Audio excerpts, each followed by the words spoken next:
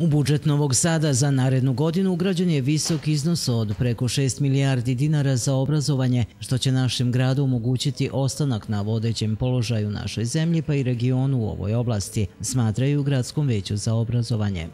Budžet grada Novog Sada je takav da ćemo i pored eh, pandemije i svega onog što će i finansijski pogoditi i naš grad i financije uspeti da obezbedimo sredstva za renoviranje, nadogradnju i izgradnju novih objekata da. što se tiče obrazovanja. Vučinić je istakla da je, zahvaljujući sredstvima iz gradskog budžeta, mališanima sa teritorije Novog Sada obezbeđen potpuno besplatan boravak u vrtićima radosnog detinjstva, a na 3200 povećan je broj dece kojima grad subvencioniše boravak u privatnim vrtićima. Radi se na tome da se lista čekanja za vrtiće smanji, odnosno potpuno ukine. Šta to znači?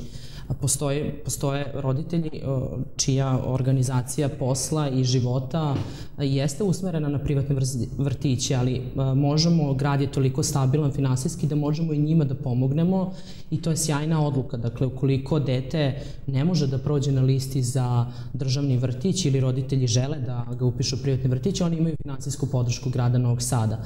Takođe, jedna od finansijskih podrška, podrška da. jedna od tih mera jeste da za đake đake prvake obezbeđujemo i besplatne učbenike za polazak u školu.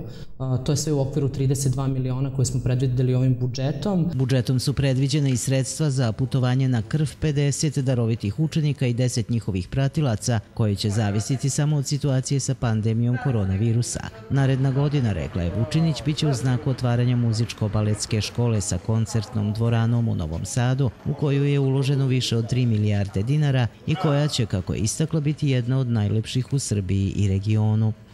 Sjajna vest je ona koju je najavio letos gradonačelnik Miloš Vučević jeste da ćemo uspeti uh, u koncertnoj dvorani da uh, da se dogovorimo, odnosno već smo se dogovorili sa našim poznatim umetnikom Stefanom Milenkovićem koji će voditi tu koncertnu dvoranu na ponos svih novosađena, na ponos svih talenata koji će da uh, budu u toj školi učenika i zaposlenih. Proširili smo kapacitete.